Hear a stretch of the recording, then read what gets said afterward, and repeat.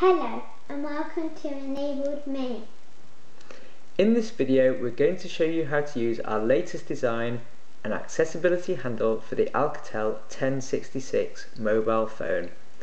All of our designs for 3D printable accessibility aids are available to download for free from the Enabled Me website. Please see links in the description below. Enabled Me provides bespoke accessibility aid design and 3D printing services. Right, let's show you how this works. The handle comes in two parts, a clip and a handle. As I no longer have the Alcatel mobile phone to demo, I'm going to show you how it works on this BT phone. The clip simply slides onto the phone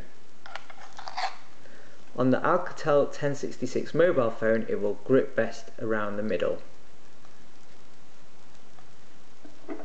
The clip can then simply be attached to the handle like this.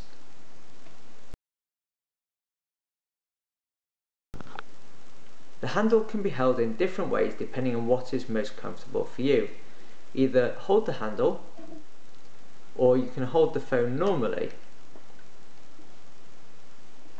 If you were to then lose your grip, the handle prevents it from falling to the floor. Because the handle has been designed for a mobile phone, and mobile phones are commonly stored in pockets or bags, the handle can be easily detached for storage. We also have a separate design for a collapsible handle made from articulated connectors. This means that the handle can fold flat and therefore does not need to be removed when storing the phone. Because these connectors are made from individual links, they can be added or removed to make sure that the handle is the perfect size for you. And the collapsible handle simply clips on to exactly the same clip as the rigid handle so you can use whichever handle you prefer. For more information, please see links in the description below. If you found this video useful, please give it a thumbs up. To make sure you do not miss any future videos, please subscribe and turn on notifications.